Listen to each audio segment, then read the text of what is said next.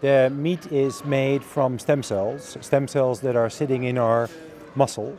Every muscle has stem cells waiting there, sitting there waiting to repair injury.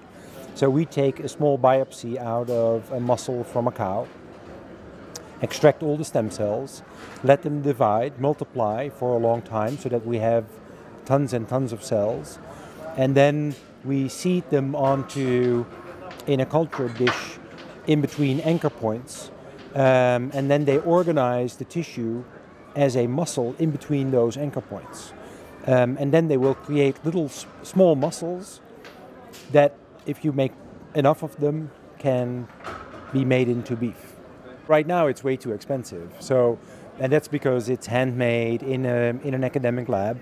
So the first hamburger is about 250,000 euro. Um, I don't know how many zloty that is, but a lot. Uh, too much for a hamburger.